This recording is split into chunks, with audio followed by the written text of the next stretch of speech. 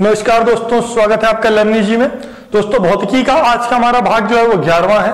पिछले भाग में हमने जो प्रश्न तनाव और उससे संबंधित जितने भी टॉपिक्स हैं, उनको क्लियर किया था।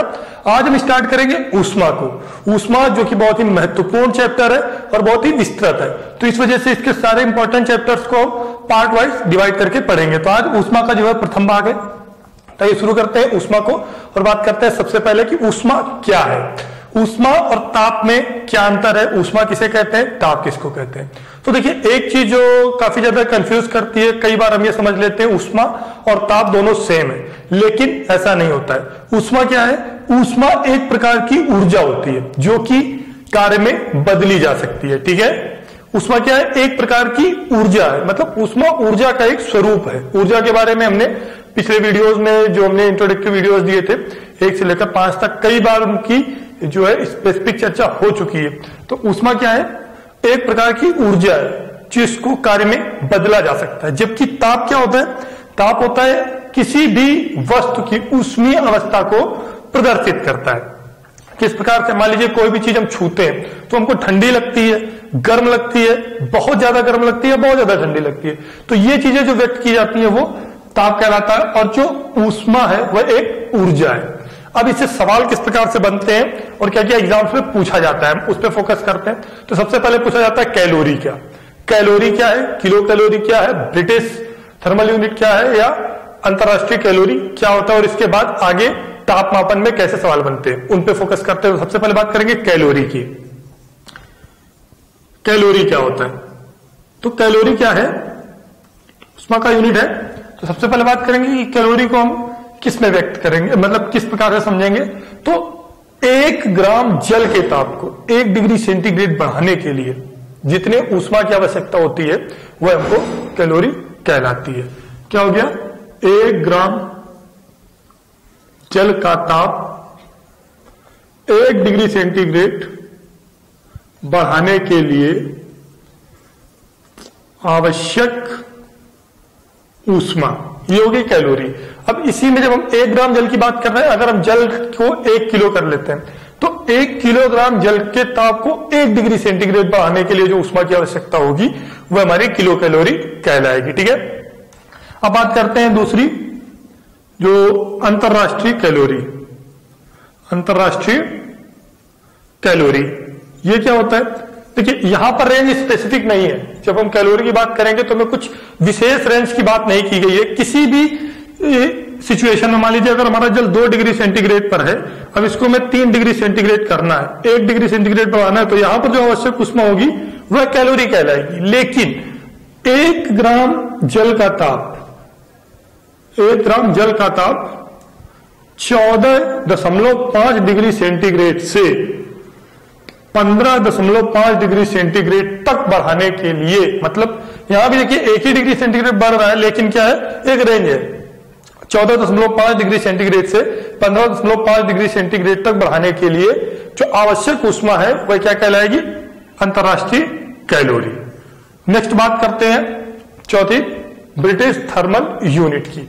तो क्या होता है? इस पे जब हम रेंज चेंज करेंगे कि एक पौंड एक पौंड जल का ताप एक डिग्री फॉरेन हाइट बढ़ाने के लिए आवश्यक ऊष्मा की मात्रा क्या कहलाती है? एक ब्रिटिश थर्मल यूनिट। कैलोरी, एक कैलोरी कितना होता है? 4.18 जूल। ठीक है? 4.18 जूल के बराबर होता है। ये मान कई बार पूछा जाता है। और एक किलो कैलोरी क्या हो जाएगा? One kilo calorie. तो 4.18 point one eight into ten to the power three joule ठीक है?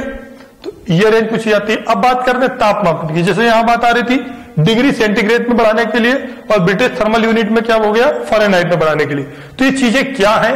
और इनसे भी सवाल किस प्रकार से पूछे जाते हैं? किस प्रकार से फॉरेनहाइट को डिग्री सेल्सियस में बदला जाता है? सबसे सरल तरीके से हम आज समझेंगे। ठीक है? तो जो तापमान के पैमाने वो कौन कौन से हैं और कौन कौन से यूज़ किए जाते हैं? वर्ल्ड वाइड तो सबसे पहले हम बात करेंगे नंबर वन, डिग्री सेंटीग्रेड, ठीक है? नंबर दो, डिग्री फॉरेनहाइट। नंबर तीन जो हमारा, वो र्यूमर और नंबर चार जो है, वो क्या है?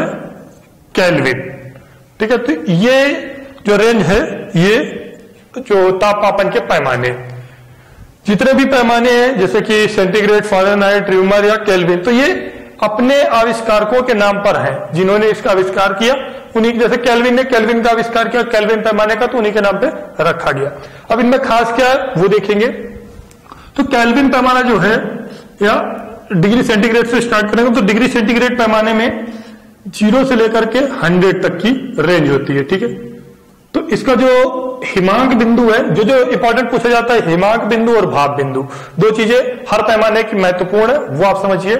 तो ज़ीरो डिग्री सेंटीग्रेड इसका हिमांक बिंदु है और हंड्रेड डिग्री सेंटीग्रेड इसका भाप बिंदु है। जल के लिए यहाँ पर हम बात करेंगे हर चीज़ की।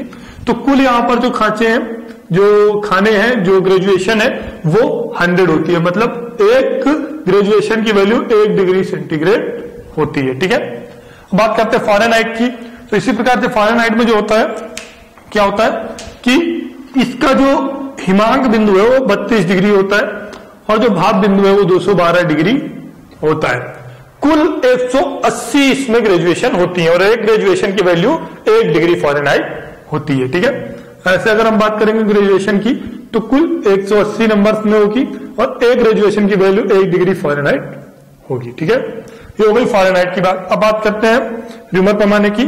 तो इसमें ज़ीरो से लेकर 80 तक की ग्रेजुएशन होती है और एक ग्रेजुएशन की वैल्यू कितनी होती है? एक। र्यूमर ठीक है? अब बात करते हैं केल्विन की तो इसका जो, इसमें देखिए हिमांग बिंदु कितना है? ज़ीरो और इसमें भाव बिंदु कितना है? अस्सी। इसमें भाव बिंदु कितना है? फारेनहाइट में दो बारह है। कुल कितनी ग्रेजुएशन होती है? 180 ये चीज़ें, ये डेटा इंपॉर्टेंट है एग्ज़ाम्स के लिए। ठीक है? अब बात करते हैं केल्विन की तो इसका जो हिमांक बिंदु होता है, दो सौ तिहत्तर डिग्री होता है, और जो भाव बिंदु होता है, वो तीन सौ तिहत्तर डिग्री होता है। ठीक है? तो इस प्रकार से ये जो रेंज है, ये केल्विन के इसमें भी 100 अब देखिए दो सौ तिहत्तर से तीन सौ तिहत्तर मतलब 100 ग्रेजुएशन होंगी। तो कुल यहाँ पर 100 ग्रेजुएशन इसमें केल्विन में भी होती हैं। अब बात करते हैं कि किस प्रकार से संबंध रखते हैं एक दूसरे से पैमाने। तो उनमें से कैसे सवाल कन्वर्ट करते हैं? कई बार एग्ज़ाम्स में क्या होता है कि कोई भी टेम्परेचर आपको फॉरन में देगा, उसको कैलविन में चेंज कराएगा, या सेंटीग्रेड में देके फॉरन में चेंज कराता है। तो उसके लिए क्या फार्मूला है, वो आप अगर याद रखते हैं तो आपको एग्ज़ाम्स में बहुत ज़्यादा आसानी रहती है। फार्मूला है C upon hundred C upon hundred ठीक है? Is equal to F minus thirty two ठीक है? Upon one eighty is equal to R upon eighty और is equal to K minus two seventy three upon hundred ठीक है? ये जो formula है, देखिए। ये फार्मूला आप याद रखेंगे तो कोई भी कन्वर्जन है, आप बहुत ही आसानी से कर लेंगे। ठीक है? नीचे टोटल ग्रेजुएशन का नंबर है और ज़ीरो से कौन कितना अधिक है, उसको वहाँ से घटा देंगे। तो सिंपली मान लीजिए फॉरन में मिनिमम कितना है? 32 तो 32 जब हम ज़ीरो से कम करेंगे तो माइनस थर्टी इसमें कितना है? दो सौ तिहत्तर। तो दो सौ तिहत्तर करके फार्मूला हमें यहाँ पर K minus two seventy three upon hundred degree तो हंड्रेड हो जाएगा, ठीक है? अभी मान लीजिए कोई भी एक एग्ज़ाम्पल देखेंगे छोटा सा। मान लीजिए कि इसकी बात करते हैं, केवल डिग्री सेंटीग्रेड और फॉरन में चेंज करना है। तो कोई एक वैल्यू ले लीजिए, अगर मान लीजिए कि 27 या 40 हम 20 को ले लेते हैं 20 डिग्री सेंटीग्रेड जो है। उसको फॉरन में चेंज करना है तो क्या करेंगे? 20 बटे 100 equal to F minus thirty two upon one eighty है ना? 20 पंचे 100 ये इधर जाएगा तो 180 आ जाएगा अपॉन फाइव आ जाएगा equal to F minus thirty two आ जाएगा। तो पाँच पंद्रह, पाँच, इकतीस और छत्तीस में हम बत्तीस जोड़ देंगे तो आठ, अड़सठ। कितना हो जाएगा? फॉरनाइट में सिक्सटी एट, ठीक है? तो ये जो है इस प्रकार से हम किसी भी चीज़ का अगर कन्वर्जन होगा तो हम आसानी से निकाल लेंगे। कुछ आप लोगों के लिए होमवर्क अगर बात करते हैं तो इंपॉर्टेंट जो है, जो एग्ज़ाम से पूछे जा सकते हैं, वो है, मान लीजिए कोई भी फॉरन राइट में वैल्यू है 45 45 है, इसको आपको सेंटीग्रेड र्यूमर और केल्विन तीनों में ही चेंज करके कमेंट बॉक्स में बताना है। आगे हम बात करेंगे उष्मा के चैप्टर्स में, जो अन्य डिटेल्ड है, अन्य जो टॉपिक्स आते हैं, उनकी। सो दोस्तों, इस वीडियो में आपको कहीं भी कोई भी कंफ्यूजन है तो आप हमें कमेंट करके पूछेंगे, जिससे आपको पूर्ण रूप से सोल्यूशन मिल सके। Thanks for watching thank you